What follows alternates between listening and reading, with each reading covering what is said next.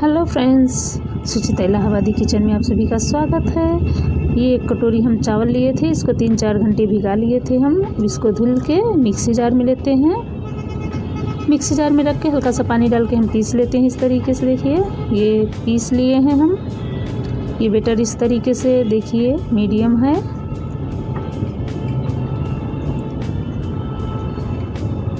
अब हम इसमें ऐड करेंगे तीन चम्मच बेसन।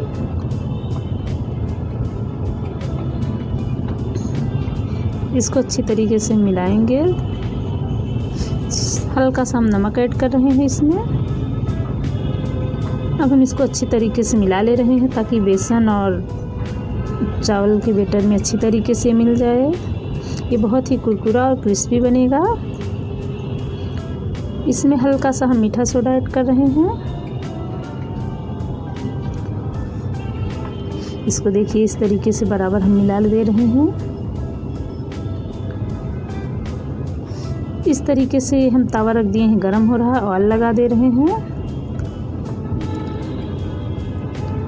अब हम इसमें बैटर डालेंगे। देखिए, इसको बराबर हम फैला देंगे अच्छे तरीके से।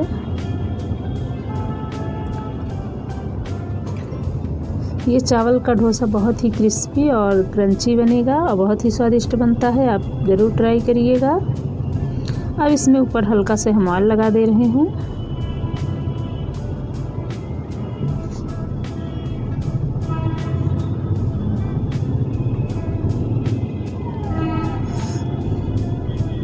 ये देखिए अच्छी तरीके से पक रहा है। मीडियम गैस रख दिए हैं।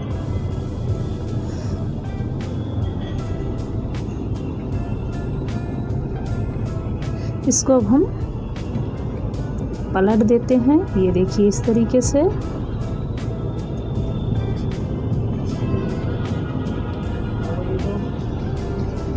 अब हम इसमें लगाएँगे, ये देखिए, टमाटर की चटनी हम लगा रहे हैं।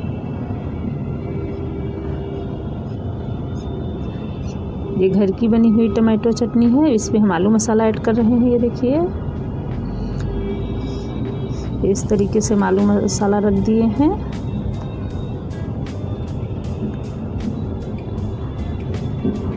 ये देखिए, बहुत ही करारा और क्रिस्पी है तो इसको हम निकाल ले रहे हैं।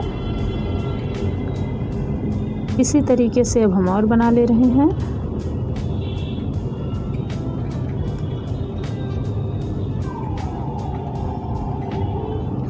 देखिए। ये पलट दिए हैं।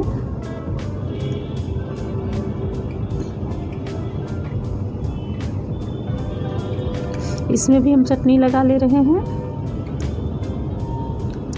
अब हम इस पे रखेंगे आलू मसाला इस तरीके से। अब इसको मोड़ के हम निकाल ले रहे हैं। ये हमारा डोसा बन के रेडी हो रहा है। आप लोग ज़रूर बताइएगा हमारा तरीका कैसा लगा। अगर हमारा तरीका अच्छा लगा हो तो हमारे चैनल को लाइक, शेयर, सब्सक्राइब करिएगा। सभी भाई बहनों को नमस्कार और धन्यवाद।